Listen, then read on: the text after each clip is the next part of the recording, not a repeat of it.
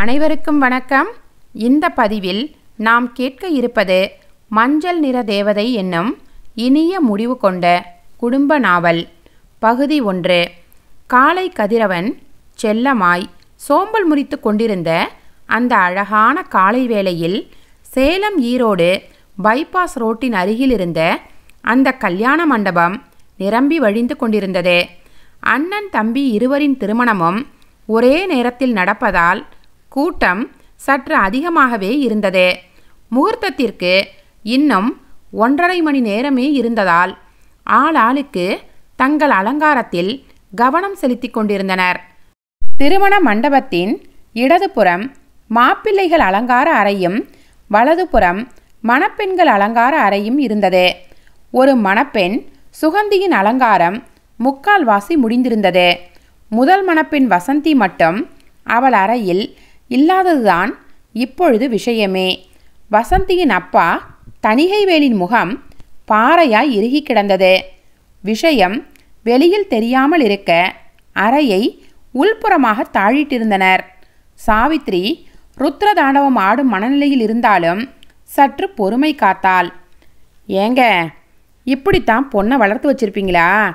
நல்ல குடும்பம்னு தானே வசதி இல்லாட்டியும் பரவாயில்லைன்னு சம்மந்தம் பண்ணணும் இப்படி எங்கள் கழுத்தை அறுத்துட்டீங்களே?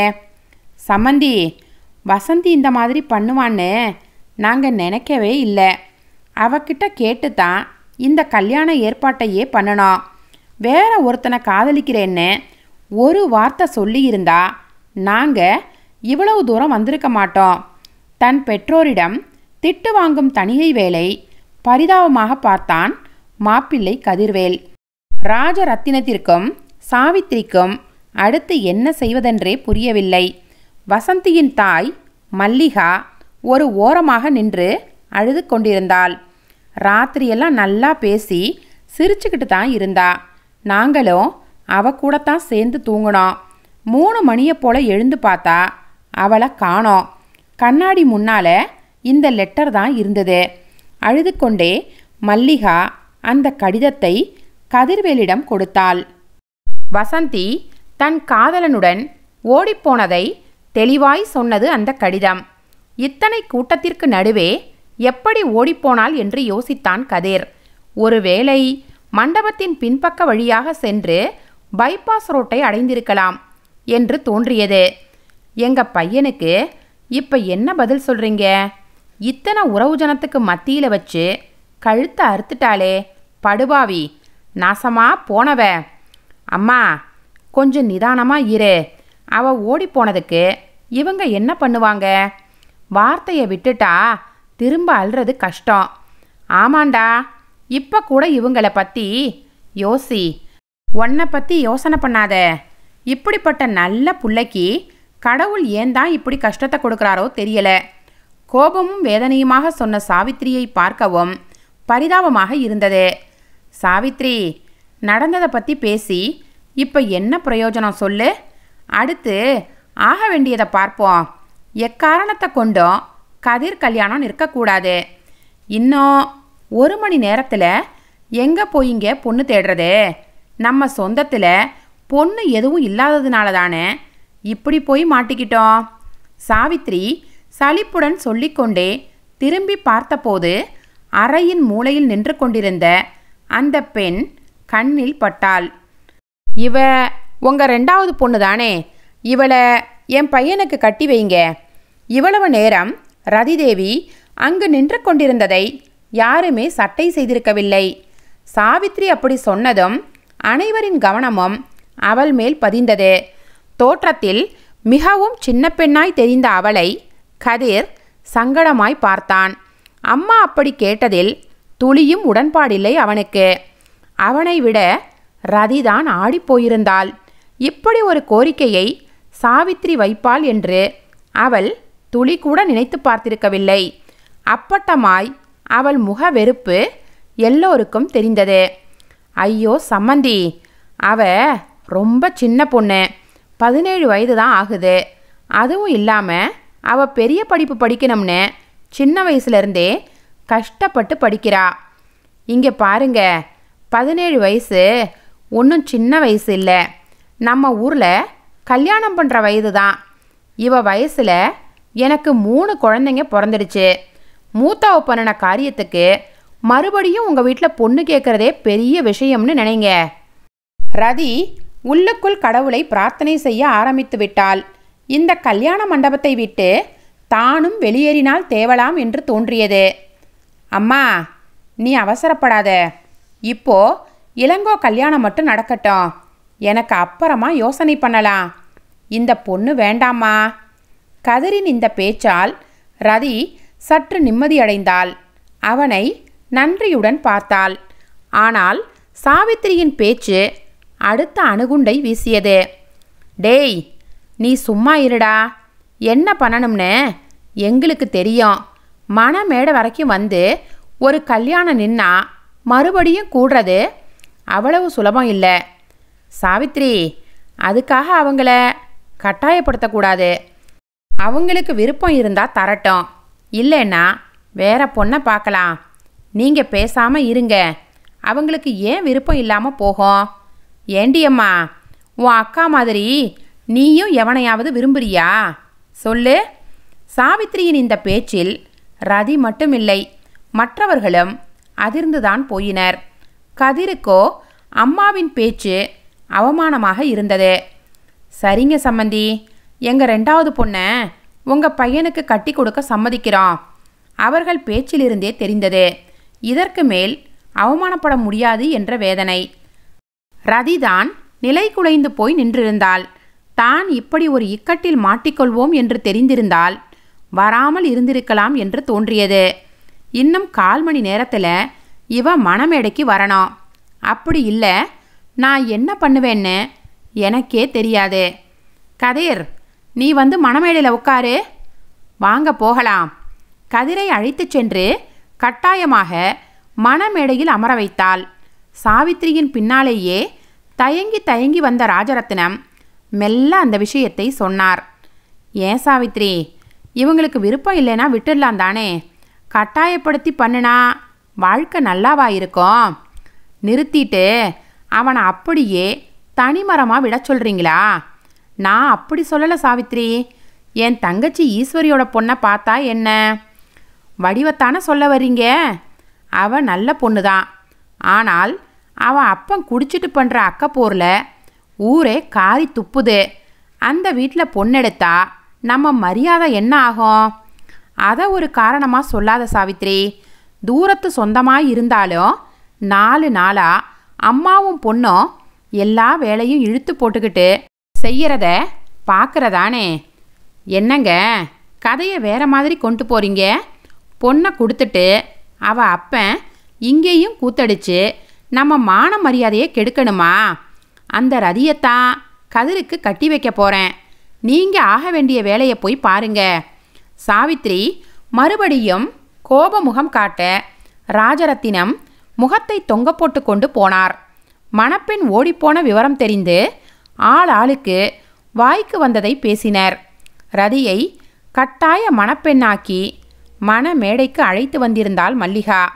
அவளை பார்க்கவே பரிதாபமாக இருந்தது கதிருக்கு.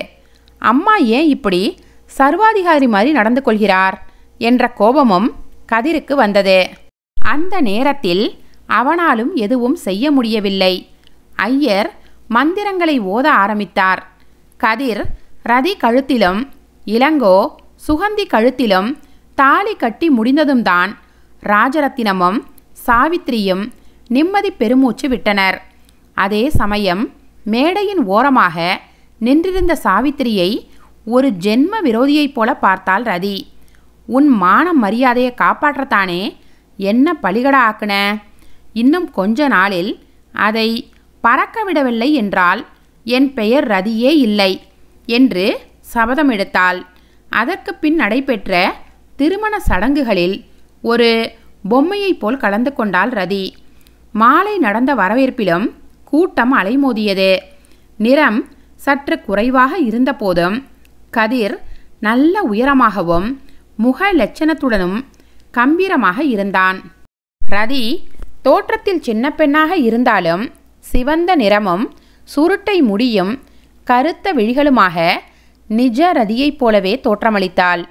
இளங்கோ சுகந்தியை விட இந்த ஜோடியே நல்ல பொருத்தம் என்று அனைவரும் சொன்னார்கள். ஒரு வழியாக அனைத்து சடங்குகளும் முடிந்து வீட்டிற்கு வந்தார்கள். வீட்டில் விளக்கேற்றிவிட்டு தனக்கு ஒதுக்கப்பட்ட அறைக்குள் வந்து சோகமாய் அமர்ந்தாள் ரதி. ஏதோ எடுப்பதற்காக தன் ஹேண்ட்பேக்கை திறந்தபோது கையில் கிடைத்த மொபைலை வெளியே எடுத்தாள் ரதி. கிட்டத்தட்ட இருபது மிஸ்டு கால்கள் முதல் நாள் இரவு செல்போனை சைலண்ட் மோடில் போட்டது அப்பொழுதுதான் நினைவுக்கு வந்தது. அத்தனை அழைப்புகளுக்கும் சொந்தக்காரன் கார்த்திக் தான் என்று பல்லை இழித்தது டிஸ்ப்ளே மேலும் வந்திருந்த மெசேஜை ஓப்பன் செய்து பார்த்தாள். டார்லிங் ஃபோனை எடுக்காம இது என்ன கண்ணாமூச்சி ஆட்டம்? திருமணம் உன் அக்காவிற்கா? இல்லை உனக்கா? உன் தேன் குரலை கேட்காமல் என் உயிர் மூச்சு மெல்ல மெல்ல கரைகிறது. உன் தேன் குரலால் சீக்கிரம் மீட்டெடு. என் ஆறுயிர் காதலியே என்று இருந்தது. பகுதி ரெண்டு. ரதி அந்த மெசேஜை வெறித்து பார்த்து கொண்டிருக்கும் போதே கதிரின் தங்கை வனிதா உள்ளே வந்தாள். ரதி மெதுவாக செல்போனை சுவிட்ச் ஆஃப் செய்து உள்ளே வைத்தாள். ரதி நீ வசந்தியை விட ரொம்ப அழகா இருக்க. ஆனா பார்க்க ரொம்ப சின்ன பொண்ணா தெரிகிற எங்க அம்மா உன்னை வற்புறுத்தி கல்யாணம் பண்ணித்தர சொன்னப்ப எனக்கும் மனசு கேட்கல ஆனா அந்த மாதிரி ஒரு சூழல்ல என்ன பண்ணுறதுனே தெரியல. எங்க கதிரண்ணா ரொம்ப நல்ல டைப் உன்னை நல்லபடியாக பார்த்துக்குவார் நீ கவலைப்பட வேண்டாம் சரியா?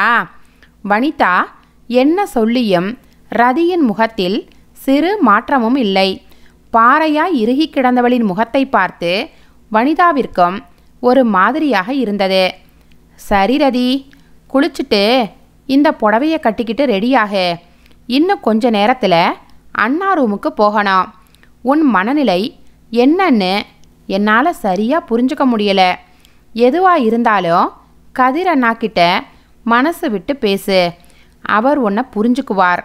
ரதி இப்பொழுதும் மௌனமாக இருக்க வனிதா மேற்கொண்டு என்ன பேசுவது என்று தெரியாமல் வெளியேறினாள். தன் இக்கட்டான சூழலை நினைத்து ரதி அழ ஆரம்பித்தாள். அதே நேரம் ரதியை தேடி வந்த மல்லிகாவும் மகளைக் கண்டு அழ ஆரம்பித்தாள். யாருக்கு யார் ஆறுதல் சொல்வது என்றே இருவருக்கும் புரியவில்லை.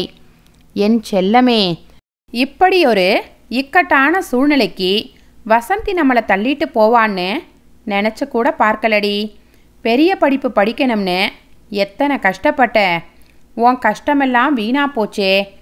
உனக்கு உதவ முடியாத எங்களை மன்னிச்சிடு அந்த நேரம் அங்கே வந்த தணிகைவேல் தாயும் மகளும் அழுவதை பார்த்து பதறி சத்தம் போட்டார். மல்லிகா நல்லது நடந்த வீட்டில் எதுக்குடி இப்படி ஒப்பாரி வைக்கிற? அதுதான் சின்ன பொண்ணு. எடுத்து சொல்ல வேண்டிய நீயே இப்படி சேர்ந்து அழுதா? என்னடி நியாயம்?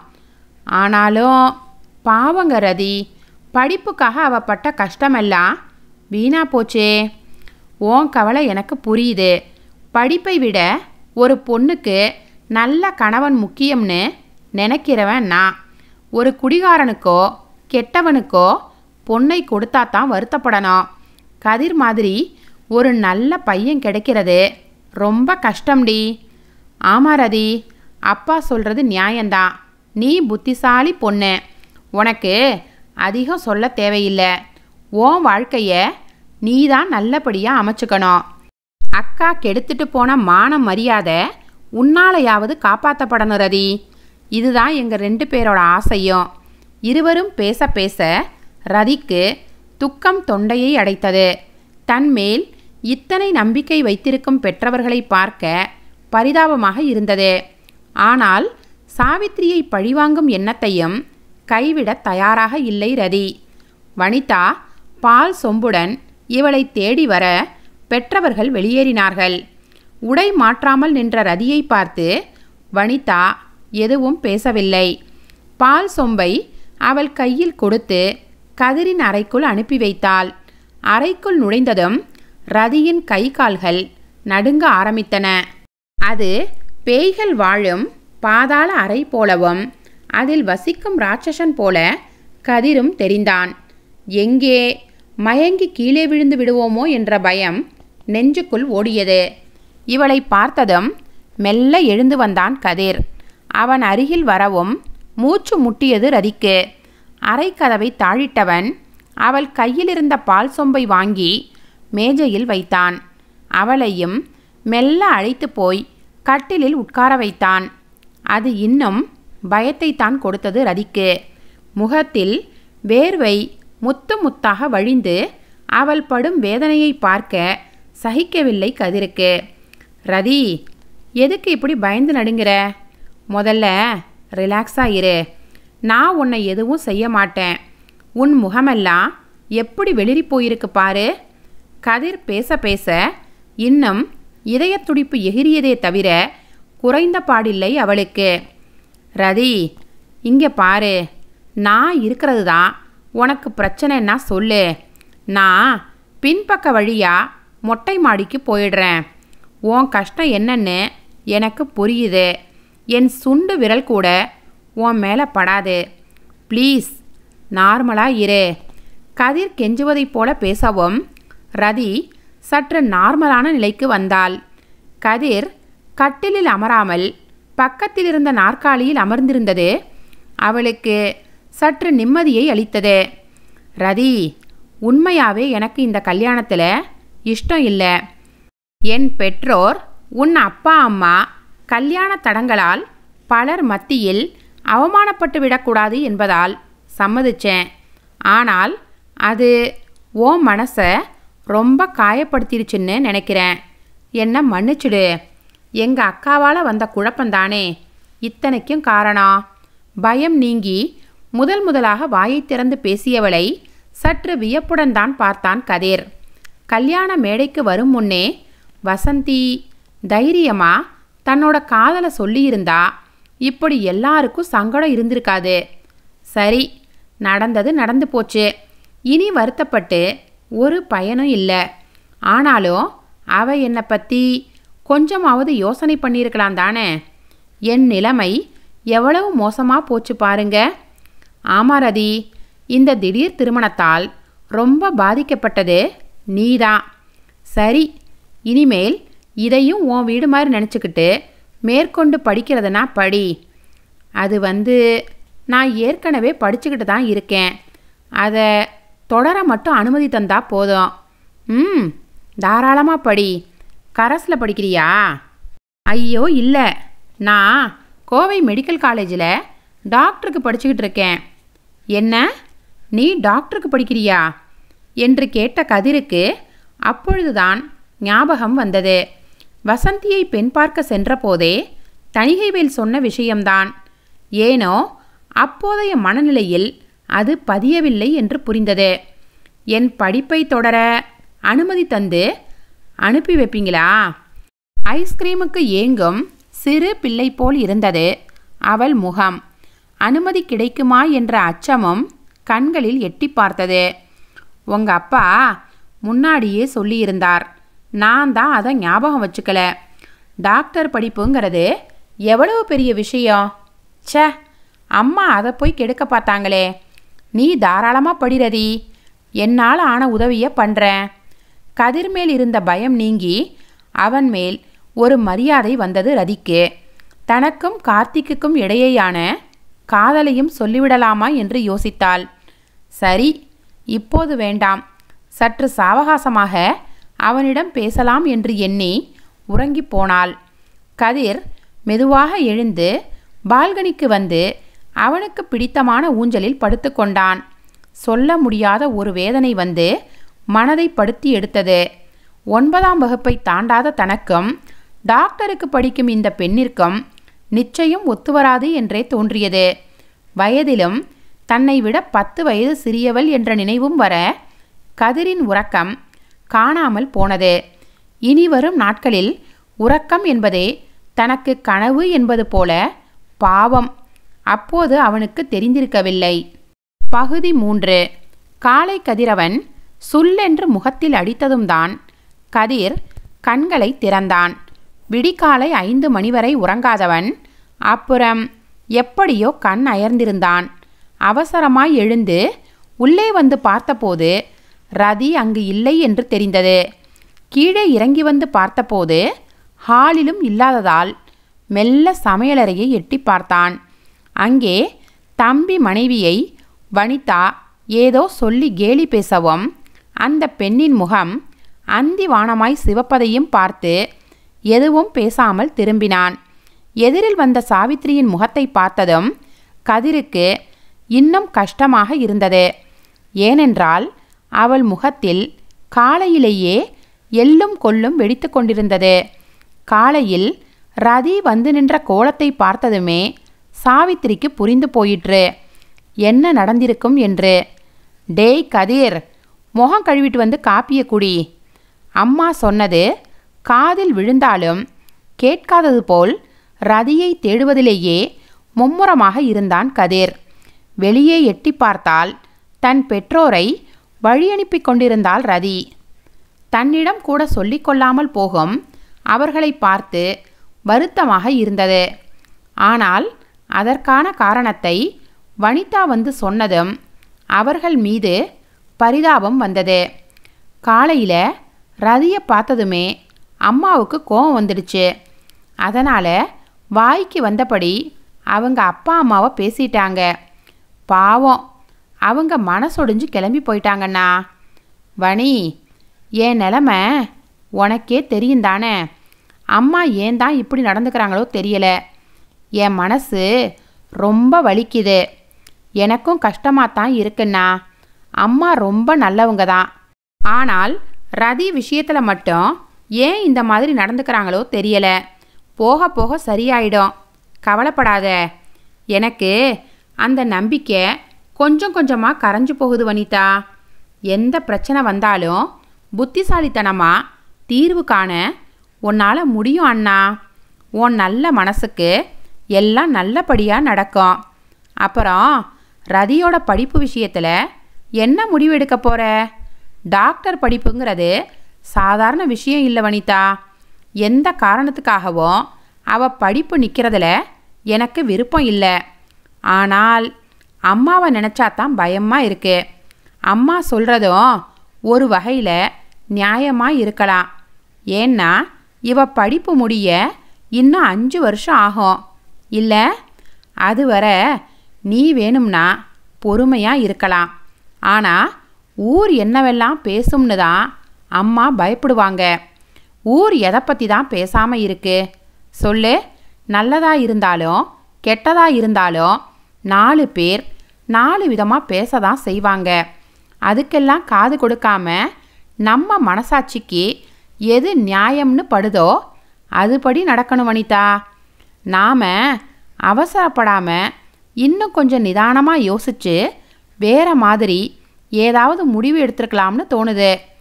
அம்மா கொஞ்சம் நிதானமாக இருந்திருக்கலாம். இப்போ கூட நானாக கல்யாணம் பண்ணிக்க ஆசைப்படலை. இளங்கோவும் சுகந்தியும் ஒருத்தரை ஒருத்தர் லவ் பண்ணாங்க. எனக்கு முன்னாடி எப்படி கல்யாணம் பண்ணுறதுன்னு தான் எனக்கும் சேர்த்து பொண்ணு பார்த்தாங்க. அப்படி அவசரப்பட்டு தான் சரியாக விசாரிக்காம முடிவு பண்ணி ரதியின் அக்கா வசந்தி ஓடி போயிட்டா. அதை பற்றி பேசி ஆகப்போவதில்லை அம்மா கிட்ட பேசிட்டு இன்னும் ரெண்டு நாளில் ரதியை கொண்டு போய் மெடிக்கல் காலேஜ் ஹாஸ்டலில் விட்டுட்டு வரேன் ரதியும் ரொம்ப நல்ல பொண்ணாத்தான் தெரிகிறா. உன் மனசு போலவே உன் வாழ்க்கையும் நல்லபடியாக அமையும் அண்ணா. ஆனால் அதுக்காக கொஞ்ச நாள் காத்திருக்கணும். கதிர் மறுபடியும் மேலே வந்தபோது ரதி மாடியில்தான் இருந்தாள். குளித்துவிட்டு தலையை துவட்டி கொண்டிருந்தவள். இவனை பார்த்ததும் மெலிதாய் புன்னகை செய்தாள். ரதி காப்பி குடிச்சியா? "ம், அது வந்து இன்னும் இல்லை. நீ தயங்குறத பார்த்தாலே தெரியுது. இன்னும் குடிக்கலன்னு. இரு செல்வியை கொண்டு வர சொல்கிறேன் செல்வி கொண்டு வந்த காப்பியை எடுத்துக்கொண்டு பால்கனிக்கு வந்தாள். வீட்டை சுற்றிலும் இருந்த பூச்செடிகளின் அழகை ரசித்து கொண்டே குடித்தாள். சிறிது நேரத்தில் கதிரும் குளித்துவிட்டு உடை மாற்றிக்கொண்டு வந்தான். இருவரும் கீழே வந்தபோது சாவித்திரி மட்டும் முகத்தை தூக்கி வைத்து கொண்டிருந்தாள். மற்றவர்கள் சகஜமாக பேசியது ஓரளவுக்கு ஆறுதலாக இருந்தது. அடுத்த இரண்டு நாட்கள் கோவில் குளம் உறவினர் வீடு என்று பொழுதுபோக்குடன் வேகமாக ஓடியது. மறுவீடு வர தணிகைவேல் கதிருக்கு ஃபோனிலேயே அழைப்பு விடுத்தார். மாமனாரின் அழைப்பை ஏற்று கதிரும் செல்ல தயாரானான். ஆனால் ரதிதான் பிடிவாதமாக மறுத்தாள். ரதி நாம போகலன்னா அத்தையும் மாமாவும் ரொம்ப வருத்தப்படுவாங்க. வா போன உடனே சாப்பிட்டுட்டு மட்டுமாவது வந்துடலாம். இல்லைங்க எனக்கு வர விருப்பம் இல்லை. ஏற்கனவே அவங்க ரொம்ப மனவேதனையில் தான் இருக்காங்க. இனி புதுசாக வருத்தப்பட என்ன இருக்கு? ரதி சுருக்கென்று சொல்லவும் கதிருக்கு ஒரு மாதிரியாக இருந்தது. அம்மா பேசியதை மனதில் வைத்துக்கொண்டுதான் பேசுகிறாள் என்று புரிந்தது.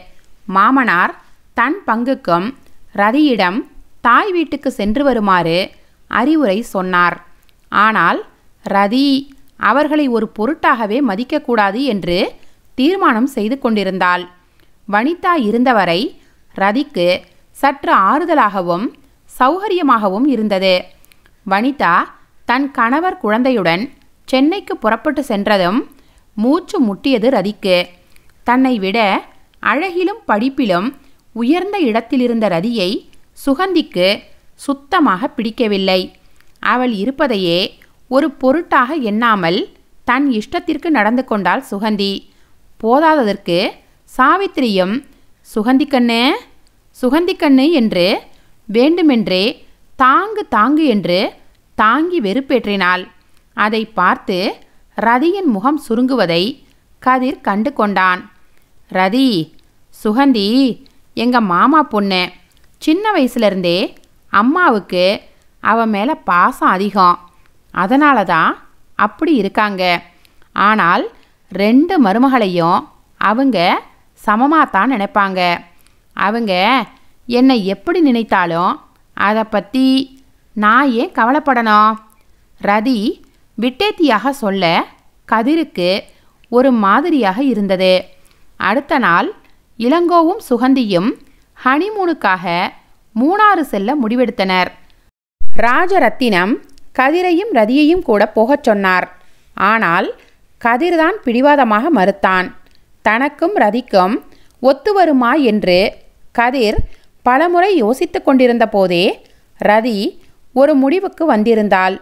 கதிர்வேலிடம் சொல்லிவிடலாம் என்று நினைத்தவள் இன்னும் காலம் இருக்கிறதே. அப்புறம் பார்த்து கொள்ளலாம். என்று முடிவை மாற்றினாள். ஒருவேளை அதை இப்போதே சொல்லியிருந்தால் கதிரின் நிலை மிக மோசமாக மாறியிருக்காது. அது யாருக்கும் தெரியவில்லை. பகுதி நான்கு. அன்று ரதி எழுந்திருக்கும் போதே சாவித்திரியின் குரல் மேலே வரை கேட்டது. எதுவாக இருந்தாலும் அமைதியாகவே பேசத் தெரியாத ஜென்மம் என்று திட்டிக்கொண்டே மெல்ல கீழே இறங்கி வந்தாள் ரதி. ஹாலில் குடும்ப மொத்த உறுப்பினர்களும் அமர்ந்திருந்தனர். கதிரையும் மாமனாரையும் தவிர இவளை யாரும் திரும்பி கூட பார்க்கவில்லை. மெல்ல சமையலறைக்குள் சென்று செல்வியுடன் நின்று கொண்டாள். ஆசையாய் அண்ணி அண்ணி என்று கூறி அழைக்கும் அந்த வேலைக்கார பெண்ணை மிகவும் பிடித்திருந்தது ரதிக்கு. அப்படியே ஹாலில் நடக்கும் பேச்சுவார்த்தைக்கு மெல்ல காதை கொடுத்தாள். தம்பி நீ என்ன சொன்னாலும் சரி. இளங்கோவை உன் வீட்டுக்கு என்னால் அனுப்ப முடியாது. கடலாட்டம் இவ்வளோ பெரிய வீடு கிடக்க அதை விட்டுட்டு மாமனார் வீட்டில் போய் இருந்தா ஊர் என்ன சொல்லும்? அக்கா அது மாமனார் வீடு மட்டும் இல்லை தாய் மாமன் வீடுங்கிறதையும் மறந்த மாதிரி பேசாத. ரொம்ப நாளாகவே இளங்கோ எங்கள் வீட்டில் தான் இருக்கான். அப்போ தொழிலை பார்க்கறதுக்காக தங்கினான். ஆனால் இப்போ கல்யாணம் முடிஞ்சோம் அங்கேயே போய் தங்குனா எங்களுக்கு அவமானம். ஏன் அண்ணி? இதில் என்ன அவமானம் வந்துருச்சு உங்களுக்கு? சுகந்தி எங்களுக்கு ஒரே பொண்ணு. வீட்டோட மாப்பிள்ளைய வச்சுக்க ஆசைப்படுறதுல என்ன தப்பு? வெடுக்கென்று கேட்டால் தம்பியின் மனைவி பரிமளா. சரி பரிமளா ஓம் பேச்சுக்கே நானும் வர்றேன். நாளைக்கு ஓம் பையன் பூபதிக்கு கல்யாணம் முடிந்து உடனே வீட்டோட மாப்பிளையை அனுப்பி வச்சிடுவியா? சாவித்திரியின் கேள்வியால் அடிபட்டு போன பரிமளா கணவனை கோபப்பார்வை பார்த்தாள். மனைவியை அமைதியாக இருக்கும்படி கண்களினாலேயே கெஞ்சினார் தங்கவேல். ராஜரத்தினமும் கதிரும் தான் மிகவும் சங்கடப்பட்டனர். சாவித்திரி சொல்வதிலும் நியாயம் இருப்பதாகவே பட்டது. என்னதான் உறவாக இருந்தாலும் வீட்டோடு மாப்பிள்ளை என்பது சற்று தர்ம சங்கடம் என்றுதான் தோன்றியது அவர்களுக்கு. சாவித்ரி நீ கொஞ்சம் அமைதியாக இரு. சின்ன வயசுலேருந்தே இளங்கோ அதிகமாக அங்கே தான் வளர்ந்தான். கல்யாணம் ஆன பின்னாடியும் அங்கேயே இருக்கணும்னு அவங்க ஆசைப்படுறதுலையும் தப்பு இல்லைன்னு தோணுது.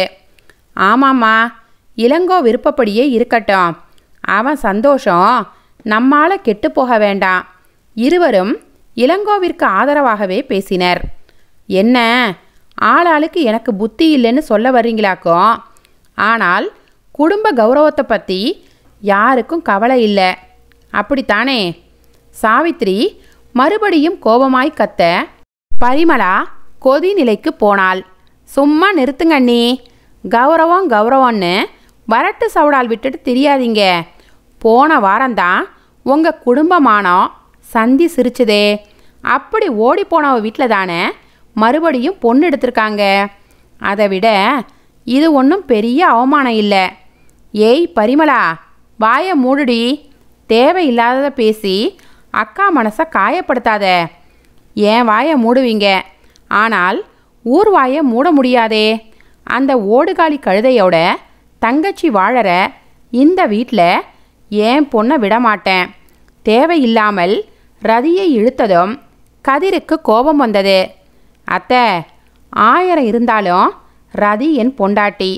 அவளையும் அவ குடும்பத்தையும் யாரும் அவமானப்படுத்துறது எனக்கு பிடிக்காது. நீங்கள் இளங்கோ விருப்பப்பட்டா தாராளமாக கூட்டிட்டு போங்க.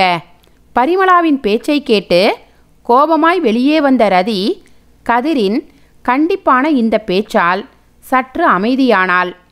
பாரு இப்போ வந்தவளுக்கு எவ்வளவு சப்போர்ட் பண்ணுறாங்கன்னு ஆனால் என்னதான் எடுத்து வளர்த்தாலும் ஏன் மருமகன் குத்துக்கல் மாதிரி தானே இருக்காரு? பரிமளத்தின் வார்த்தையால் அடிபட்டு போன இளங்கோ வாயை திறந்தான். அம்மா நான் எப்பவும் போல மாமா வீட்டிலையே இருந்துக்கிறேன். இந்த சின்ன விஷயத்த ஊதி பெருசு பண்ணி எல்லாரோட நிம்மதியையும் கெடுக்காத. முகத்தை தூக்கி வைத்துக்கொண்டே சொன்ன இளங்கோவை பார்த்து அழுகைதான் வந்தது சாவித்திரிக்கே. அதன் பின் யாரும் எதுவும் பேசவில்லை. அவரவர் பாட்டிற்கு ஆளுக்கொரு மூலையில் அமர்ந்திருந்தனர். இளங்கோ மிச்சம் மீதி இருந்த தன்னுடைய உடைமைகளை பொறுக்கிக் கொண்டு யாரிடமும் சொல்லாமல் காரில் ஏறிப்போனான். அவன் போனபின் சாவித்திரி சாவித்ரி அழ ஆரம்பித்தாள். மற்றவர்கள் அவளை பார்த்து பரிதாபப்பட்டாலும் ரதி மட்டும் உள்ளுக்குள் மகிழ்ந்தாள். உனக்கு இது மட்டும் போதாது. இன்னும் நிறைய அனுபவிக்க காலம் இருக்கு. இந்த கண்ணீர் தற்காலிகம்தான். ஆனால் நான் பண்ண போகிற காரியம் நிரந்தரமாக உன்னை அழ வைக்க போகுது பாரு என்று மனதிற்குள் நினைத்துக்கொண்டு சந்தோஷமாக சாப்பிட ஆரம்பித்தாள். சாவித்ரி நல்லது நடந்த வீட்டில் எதுக்கு இப்படி அழற? அவனுக்கு ஒரு நல்லது நடந்திருக்கு. அப்படி இருக்க உன் கண்ணீரில் ஆரம்பிக்கிற வாழ்க்கை நல்லபடியாக இருக்குமா? சொல்லு. ஏங்க எனக்கு மட்டும் அவன் மேலே அக்கறை இல்லையா? அவன் நல்லதுக்கு தானே சொன்னேன். என்னதான் உறவாக இருந்தாலும் வீட்டோட மாப்பிள்ளையாக இருந்தா என்ன மதிப்பு இருக்கும்? அதுவும் பரிமளா எப்படி பேசுவான்னு தெரியும் தானே? அது அவனுக்கு புரிய மாட்டேங்குது சாவித்ரி. அதுக்கு தகுந்த மாதிரி அவங்களும் கிள்ளி விடுறாங்க. யாரை சலிச்சுக்க முடியும்? சொல்லு. வனிதாவோட சேர்ந்து இவனையும் புகுந்த வீட்டுக்கு அனுப்பிட்டோம்னு நினச்சிக்க வேண்டியது தான் நான் அதுக்காக மட்டும் சொல்லலைங்க. ரெண்டு பேருக்கும் கல்யாணத்தை முடிச்சிட்டோம். இருக்க போகிற இன்னும் கொஞ்ச நாளைக்கு பேர பிள்ளைங்கள பார்த்துக்கிட்டு சந்தோஷமா கண்ணை மூடலாம்னு நினைக்கிறது தப்பா? ஓ ஆதங்கம் எனக்கு புரியுது சாவித்ரி. சுயநலமான பிள்ளைகளிடம் ரொம்பவும் எதிர்பார்க்கக்கூடாது. அவன் போகட்டும் விடு. ஏன்? கதிர் இல்லையா? அவன் பிள்ளைங்க வந்து இந்த வீட்டில் ஓடி ஆடுவதை பார்த்து சந்தோஷப்படலாம் விடு. இப்படி ஒரு எண்ணம் கூட உங்களுக்கு இருக்கா? ஓம் பிள்ளையோட வாழ்க்கையே கேள்விக்குறியாக இருக்கு. இதில் பிள்ளைக்குட்டிங்க வந்து விளையாட போகுதாக்கும் நல்ல கற்பனை தான் இந்த பொம்பளைக்கு. என்று மனதிற்குள் சிரித்து கொண்டாள் ரதி. ராஜரத்தினத்தின் ஆறுதல் சாவித்திரிக்கு வேண்டுமானால் சற்று சமாதானத்தை கொடுத்தது. ஆனால் கதிருக்குத்தான் சற்று சங்கடமாக இருந்தது. வீடு இருக்கும் நிலையில் ரதியின் படிப்பு விஷயம் பற்றி பேசவே கதிர் சற்று பயப்பட்டான்.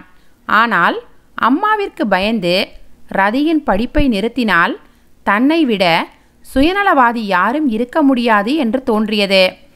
அம்மாவிடம் எப்படி பேசுவது என்று புரியாமல் தலையை பிடித்துக்கொண்டு வெளியே வந்தான்.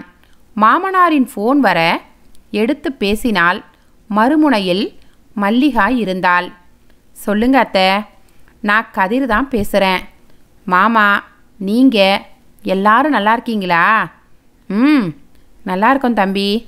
வீட்டில் ஒன்றும் பிரச்சனை இல்லையே. கொஞ்சம் அவசர வேலையா? சொல்லாமல் கூட வந்துட்டோம். மன்னிச்சிருங்க தம்பி. ஐயோ அத்தை நீங்கள் பெரிய வார்த்தையெல்லாம் சொல்லாதீங்க. உங்கள் மேலே எனக்கு எந்த வருத்தமும் இல்லை. இங்கே ஒரு பிரச்சனையும் இல்லை. அப்புறம் வசந்தி பற்றி விசாரிச்சிங்களா? அவ தான் செத்துட்டான்னு தலை முழுகிட்டோம். இனிமேல் அவளை பற்றி நினைக்கவே போகிறதில்ல அத்தை அப்படியெல்லாம் விட்டுடாதீங்க. என்னதான் இருந்தாலும் அவ நீங்கள் பெத்த பொண்ணு. ஏதோ தப்பு பண்ணிட்டா. ஆனால் உங்கள் ஆதரவு இல்லைன்னா அவ இன்னும் கஷ்டப்படுவாத்த. அவளையும் கொஞ்சம் பாருங்க. அவ உங்களை அவமானப்படுத்திட்டு போனாலும் நீங்கள் எவ்வளவு பெருந்தன்மையாக பேசுகிறீங்க ஓடுகாலி கழுதைக்கு உங்கள் அருமை புரியாமல் போச்சே. உங்களுக்கு என்னதான் கைமாறு செய்ய போகிறோமோ தெரியல தம்பி. அதுக்கு தான் ரதி மாதிரி இன்னொரு பொண்ணை கொடுத்துருக்கீங்களே அத்தை. எங்களை பற்றி கவலைப்படாதீங்க. மருமகனின் பேச்சில் சற்று நிம்மதியாக ஃபோனை வைத்தாள் மல்லிகா. பகுதி ஐந்து. கதிர் சொன்னதை கேட்டதும் சாவித்ரி வானத்துக்கும் பூமிக்குமாய் குதித்தாள். அம்மா இத்தனை ஆர்ப்பாட்டம் செய்வாள் என்று கதிர் ஏற்கனவே எதிர்பார்த்திருந்ததுதான். அதனால் பேசாமல் இருக்க ராஜரத்னம்தான் மனைவியை சமாதானப்படுத்தினார். சாவித்ரி இப்போ எதுக்கு இந்த ஆர்ப்பாட்டம் பண்ணுற கதிர் சொல்கிறதுல என்ன தப்பு? டாக்டர் படிப்புங்கிறது என்ன சும்மாவா? அதுவும் அந்த பொண்ணு கஷ்டப்பட்டு மெரிட்டில் வாங்கின சீட்டு. அதை போய் நாம் கெடுக்கலாமா? கல்யாணம் முடிஞ்ச பின்னாடி இவளை வெளியில் அனுப்ப எனக்கு இஷ்டம் இல்லை. ஏற்கனவே இவ அக்கா ஓடி போனதுக்கே இன்னும் காரி துப்பிட்டு இருக்காங்க. அதில் இவளையும் வெளியே அனுப்பி வச்சு குடும்ப மானத்தை இன்னும் சந்தி சிரிக்க வைக்கணுமா? இதில் சந்தி சிரிக்க என்ன இருக்கு? படிக்க அனுப்புறத யாரும் தப்பாக பேச மாட்டாங்க. ஐயோ படிப்பை பற்றி மட்டும் நான் பேசலை. அவளை கட்டாயப்படுத்தி தான் கல்யாணம் பண்ணி வச்சுருக்கோம். அப்படி இருக்க அவளை வெளியே அனுப்பி வச்சு காதல் கீதல்னு வேண்டாத விவகாரம் வந்தா என்ன பண்ண முடியும்? சாவித்திரியின் இந்த கேள்வி ரதியை சாட்டையை கொண்டு விளாசியது போல் இருந்தது. அறிவு கெட்டத்தனமாக பேசாத சாவித்திரி. கழுத்தில் தாலி ஏறின பின்னாடி யாராவது அப்படி செய்வாங்களா? அதுவும் ரதி நெருப்பு மாதிரி. அந்த மாதிரி ஒரு காரியத்தை செய்ய ஒரு நாளும் துணிய மாட்டா. மாமனாரின் இந்த பேச்சு ரதிக்கு செருப்பால் அடித்தது போல் இருந்தது. ஆனாலும் எதுவும் பேசாமல் அமைதியாக நின்றாள். ஆமாம்மா அப்பா சொல்கிறது நியாயந்தானே. நம்மால் அவ படிப்பு கெட வேண்டாம். நம்ம வீட்டில் ஒரு டாக்டர் இருக்கிறது நமக்கு பெருமை தானே நீ என்ன சொன்னாலும் சரி கதிர். அவ சம்பாதிச்சு தான் சாப்பிடணுங்கிற நிலமை நமக்கு இல்லை. இருக்கிற சொத்தை ஆயுசுக்கு உக்காந்து தின்னாலும் தீராது. அவ போக வேண்டாம். சும்மா வரட்டு பிடிவாதம் பிடிக்காத சாவித்திரி. இதே மாதிரி ஒரு நிலைமை நம்ம வனிதாவுக்கு வந்திருந்தா யார் பக்கம் சப்போர்ட் பண்ணுவேன்னு உண்மையாக சொல்லு. சாவித்திரியால் கணவனின் கேள்விக்கு பதில் சொல்ல முடியவில்லை. அப்பனும் மகனும் ஏற்கனவே முடிவு பண்ணிட்டு ஒரு பேச்சுக்கு என்கிட்ட கேட்குறீங்கன்னு புரியுது. இந்த வீட்டில் தான் என் பேச்சு எடுபடாமல் போகுதே. உங்கள் இஷ்டம் போல என்ன வேணும்னாலும் பண்ணுங்க. அப்புறம் தலையில் கையை வச்சுக்கிட்டு அம்போன்னு உக்காந்துருங்க. எனக்கு என்ன வந்தது? சாவித்ரி கோபமாய் எழுந்து உள்ளே போக ராஜரத்னம் கதிரையும் ரதியையும் பரிதாபமாக பார்த்தார். நீ ரொம்ப யோசனை பண்ணி மனசை போட்டு குழப்பிக்காத. ரதியை கொண்டு போய் காலேஜில் விட்டுட்டு வா. அம்மாவை நான் சமாதானம் பண்ணிக்கிறேன். ரொம்ப நன்றிப்பா. அரை மனதாய் செல்லும் மகனை பார்க்க பரிதாபமாக இருந்தது அவருக்கு. ஈசி சேரில் சாய்ந்து கண்களை மூடிக்கொண்டு பழைய நினைவுகளை அசை போட்டார் சேலத்திலிருந்து ஈரோடு போகும் வழியில் உள்ள கிளிநொச்சியூர்தான் இவர்களது சொந்த ஊர். தலைமுறை தலைமுறையாக விவசாயத்தை மட்டுமே நம்பி வாழ்ந்த குடும்பம் அவர்களுடையது. ராஜரத்னத்திற்கு அப்பா கொடுத்த பதினைந்து ஏக்கர் நிலமும் ஒரு பழைய ஓட்டு வீடும் தான் சொத்துகள். பங்காளிகளின் சூழ்ச்சியால் குடிப்பழக்கத்துக்கு ஆளாகி அத்தனையும் தொலைத்துவிட்டு வரும்போது கதிருக்கு பதினாலு வயசு சின்னவன் இளங்கோவிற்கு பதிமூன்றும் பெண் வனிதாவிற்கு பத்து வயதும் தான் ஆகியிருந்தது. குடியிருந்த வீடும் கூட போனதில் மனசொடிந்த சாவித்திரி குழந்தைகளுடன் சாகத் துணிந்தாள். பெரியவன் கதிர்தான் தைரியமாக அம்மாவை தடுத்து நிறுத்தினான். தன் ஒன்பதாம் வகுப்பு படிப்பையும் பாதியில் விட்டான். சுற்று வட்டாரங்களில் கிடைத்த உளுந்து துவரை பாசிப்பருப்பு போன்றவற்றை சிறிது சிறிதாக முழு தானியமாக வாங்கினான். அவற்றை வெயிலில் காய வைத்து மில்லில் கூலிக்கு அரைத்து சுத்தம் செய்து விற்பனை செய்ய ஆரம்பித்தான். ஆரம்பத்தில் சிறிய அளவில் தொடங்கிய தொழில் கதிரின் கடின உழைப்பால் வளர ஆரம்பித்தது.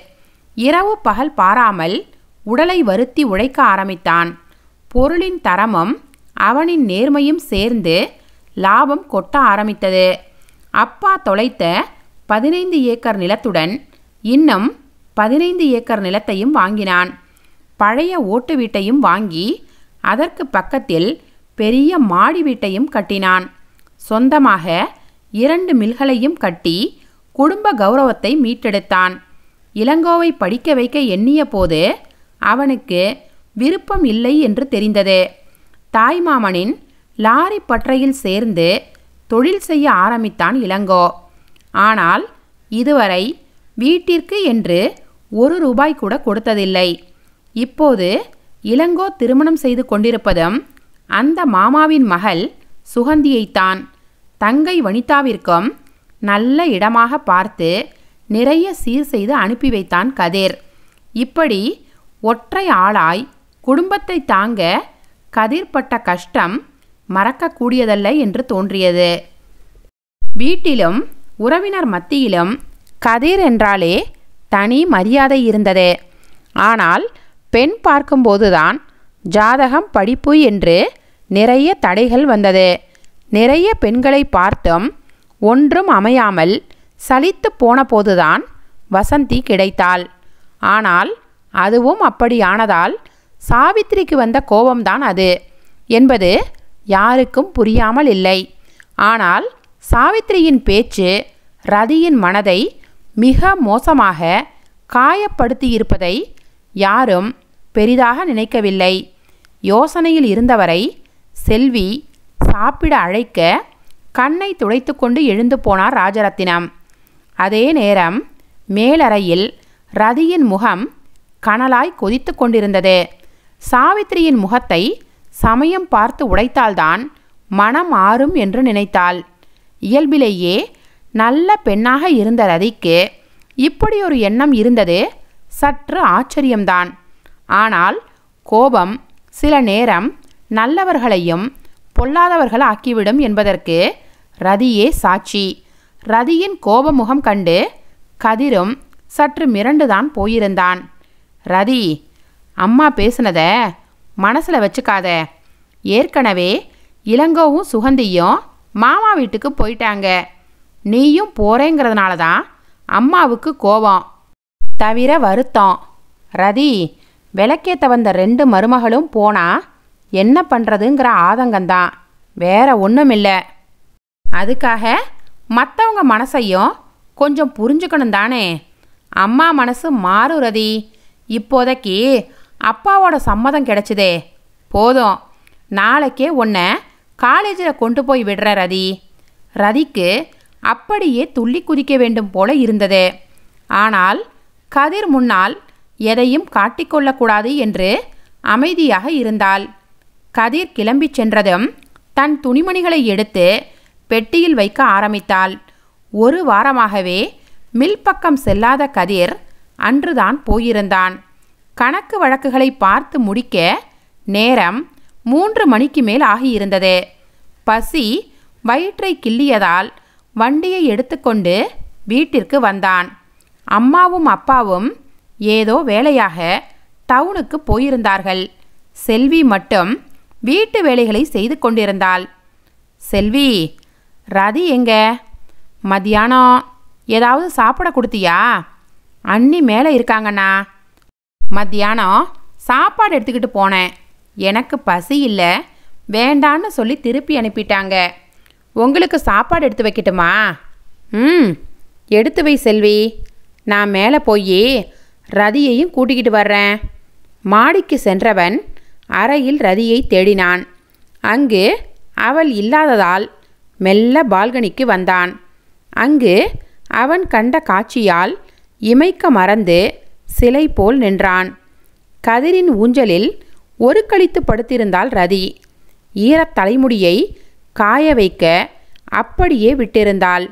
அந்த கருகரு சுருண்ட முடி தரை வரை நீண்டு கிடந்தது. இந்த பெண்ணின் தலைமுடி இத்தனை நீளமா? என்று வியந்தான். அவள் கட்டியிருந்த மஞ்சள் புடவையுடன் முகமும் மஞ்சள் நிறமாய் ஜொலித்தது. இதுவரை எந்த பெண்ணிடமும் சாயாத அவன் மனது முதன் முதலாக அந்த மஞ்சள் நிற தேவதையிடம் சரணடைந்தது. பார்வையை அவள் மேலிருந்து விலக்க முடியாமல் தவித்தான். பின்னர் அரை மனதாய் மாடியிலிருந்து இறங்கி வந்தான் கதிர். சாப்பிடக்கூட தோன்றாமல் வண்டியை எடுத்துக்கொண்டு மறுபடியும் மில்லிற்கு வந்தான். எத்தனை முயன்றும் பறிபோன அவன் மனம் திரும்பி வர மறுத்தது. இத்தனை வருடத்தில் எந்த பெண்ணும் அவன் மனதில் இப்படி ஒரு சலனத்தை ஏற்படுத்தியிருக்கவில்லை. வசந்தியை கூட அம்மாவின் விருப்பத்திற்காகத்தான் திருமணம் செய்து கொள்ள சம்மதம் தெரிவித்தான். அப்போது திருமணம் என்பது அம்மாவிற்காக செய்யும் ஒரு கடமையாகத்தான் பட்டது கதிருக்கு. ஆனால் ஒரு பெண்ணால் தன் மனதை இத்தனை வசப்படுத்த முடியுமா என்று அவனுக்கே ஆச்சரியமாக இருந்தது. மறுபடியும் அந்த மஞ்சள் முகத்தை பார்க்க வேண்டும் என்று மனம் சண்டி குதிரையாய் அடம் பிடித்தது. வேலை எதுவும் செய்ய பிடிக்காமல் மறுபடியும் வீட்டிற்கு திரும்பினான் கதிர். இந்த நாவலுடைய தொடர்ச்சியை அடுத்த பதிவில் கேட்கலாம். நன்றி வணக்கம்.